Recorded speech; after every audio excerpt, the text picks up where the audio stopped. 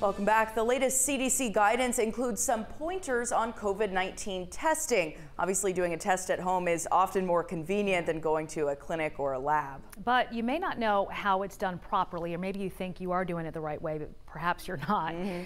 Mandy Gaither shows you how. Masking, social distancing, and of course, vaccination and boosters are the best ways to slow the spread of COVID 19. It is troubling to see these numbers, to see how high the cases are going.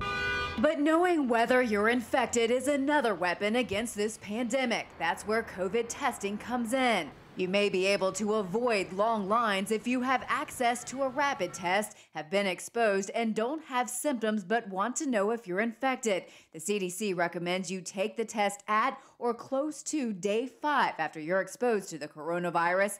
500 million free at home COVID 19 tests will soon be distributed. We will set up a free and easy system, uh, including a new website to get these tests out to Americans. So, how do the tests work? Dr. Sanjay Gupta explains. So, there's a swab. Most of us are familiar with these by now. So, about a half to three quarters of an inch in each nostril, five big circles.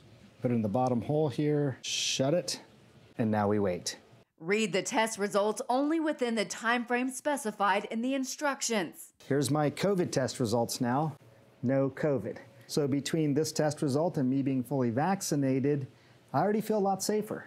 If the test is positive, the CDC advises isolation to continue for 10 days after symptoms started. If negative, quarantine can stop, but the agency recommends wearing a mask around others until day 10.